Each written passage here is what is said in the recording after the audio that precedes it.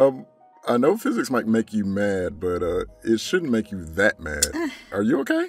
Man, we got stuck on a roller coaster at Five Flags. Five Flags? What, what the heck is that? You're our physics teacher. I feel like you should have been there. Like, Oh yeah. Uh, He was late because he missed the bus. No, I mean, what do you expect? as usual. Wh- where's Abeni and Gerardo? Still stuck on some other ride. What? I mean, no one was doing any work there. I mean, it's Five Flags. They were all on their phones, Ugh. just sitting around. Sounds like y'all. Wait a minute. Well, actually, it sounds like the employees and the roller coasters had no energy. Energy is the ability to do work. And Matt, you already learned that work occurs when a force causes an object to be displaced.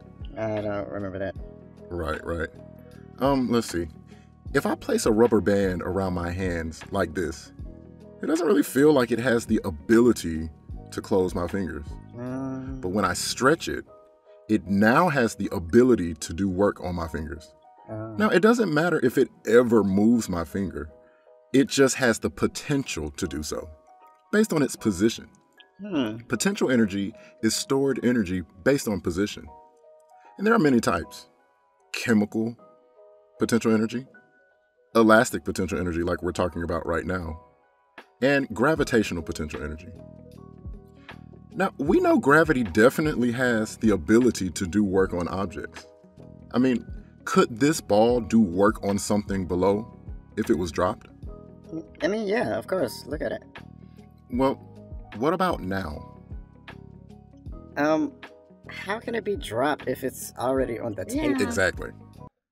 What? It has no GPE at its lowest point.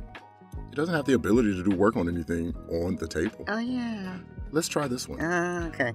Which ball has the highest ability to do work if it were dropped? Um, the bowling ball, right? Duh. Okay, Okay. right. Well, what about now? Ooh. Uh, oh, the Earth. Why the Earth? The Earth has more gravity. Exactly. oh yeah.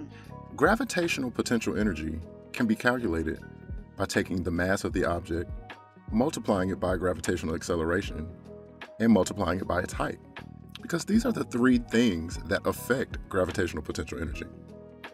But who cares about potential if you never do anything? Mm-hmm. What are y'all looking at me for? I have the highest GPA in this school. That's cap. I do my work. That's cap. That's cap. In order to actually do some work, something has to move at some point, which is why our study of motion was so important in this class. Energy associated with moving objects is known as kinetic energy. And the larger the object is, and the faster that it moves, well, it has a higher ability to do work. We can calculate kinetic energy by taking half of the mass and multiplying it by the velocity squared. Let's test this out. I have a 0.5 kilogram marble at the top of a hill that's one meter high. How much GPE does it have here? Okay, so we just take the mass, 0.5, multiply it by gravitational acceleration. Nine What's that? point eight one. That's what it always is. Oh, right, right, right. And the height is one meter, so just multiply three numbers together. Yeah, that's pretty easy. Uh, 4.9. Meters. Wait, 4.9 what? I don't know. Joules. Oh, cute. I like that. N- no, after him. Oh. Oh my gosh. We can also call it a Newton meter. Well, anyway, how much GPE would it have down here? Um, none. It's at its lowest point, right? Where did that energy go? Well, think about how it would even get down there in the first place. It takes energy to move, potential energy. And that potential energy wasn't destroyed, it was converted to kinetic energy as it moved downwards. Oh. That does The That makes total amount of okay. energy, which is known as mechanical energy, will always be the same in a closed system. The total amount of energy you have in the beginning will be the total amount of energy you have at the end, oh, in Oh, every yeah, single I- point I- that on this sense. coaster. I get it now. That makes sense. Okay. Okay, good. So, how much kinetic energy would we have here? Mm, 4.9 joules, because if GP is zero and the total always has to be the same, Yep. kinetic has to be 4.9. Very good. Yeah. So, the second hill is two meters high. How much GPE would the marble have here? Mm, but, Okay, but so it wouldn't. the mass is still 0.5 kilograms.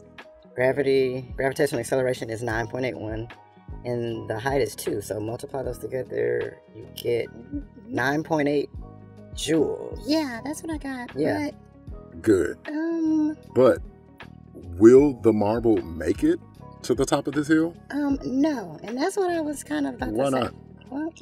Well, it only started with 4.9 joules of energy, and that won't change because the marble can't gain energy as we go. So it won't have enough energy to make it up there. Absolutely. And that explains why you all got stuck on that roller coaster. That's Um, not funny. right. Oh, your your face cleared up. You don't look like a strawberry type of weird. looking one, don't don't look at my face. well, Oompa Loompa. While Don't there are many other face. organs at work, due to the potential energy of the blood, gravity was able to do work on it. And that energy was converted to kinetic energy as it was able to move downwards throughout the rest of her body. Now, that circulation is powered by all sorts of work done by electrochemical potential energy in your heart and cells, converting chemical energy from your food, from nuclear energy harnessed in atoms that could be converted to electrical energy, to solar energy from the sun, none of it can be destroyed or created, which is why you may hear so many arguments and debates about renewable energy sources. But no matter how complex the conversations may get, it always boils down to these same conversions from potential energy to kinetic energy. so, how is that coaster even operating? The engineers learned physics from Mickens, obviously. Like, who would even build a drop hill shorter than the loop? I mean, when nobody built this, CRSI Right. made this. They're just making a point to See- help you learn. I don't know. Who? Our creators. creator. We're not Huh? supposed to discuss religion in school. Right. Yeah. And as for me and my house, Oh my I will serve